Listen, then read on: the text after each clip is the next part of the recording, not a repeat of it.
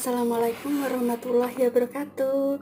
Oke, jumpa di video youtube Tata Tasnim TV Di kesempatan video kali ini Tata akan e, berbagi ilmu tentang Manfaat dari garpu tala Dan cara untuk pengobatan.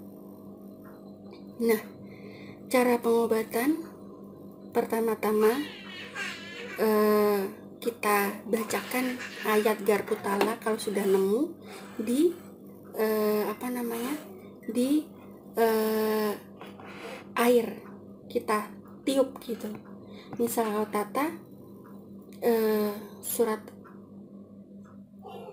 apa namanya asot 35 ya. Bismillahirrahmanirrahim إنا أخلصناهم بخالصة ذكر الدار. إنا أخلصناهم بخالصة ذكر الدار.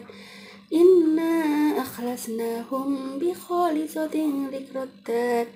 إنا أخلصناهم بخالصة ذكر الدار. إنا أخلصناهم بخالصة ذكر الدار.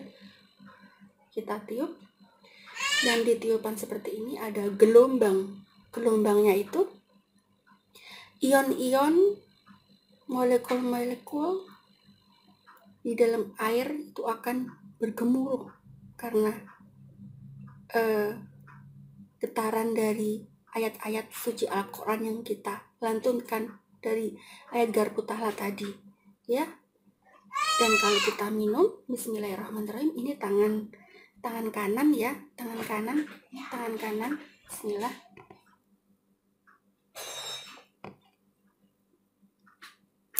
Nah dengan seperti itu akan apa mendapatkan uh, obat dari ayat garbutala.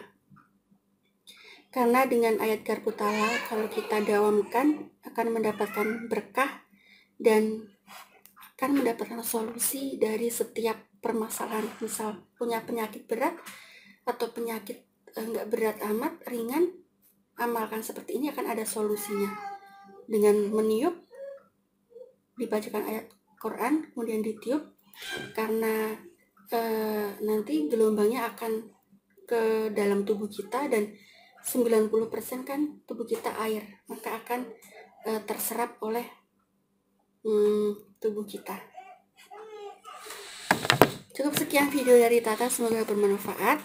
Itulah uh, manfaat dari uh, garpu tala dan cara menggunakannya. Oke, okay? cukup sekian video dari Tata. Assalamualaikum warahmatullahi wabarakatuh.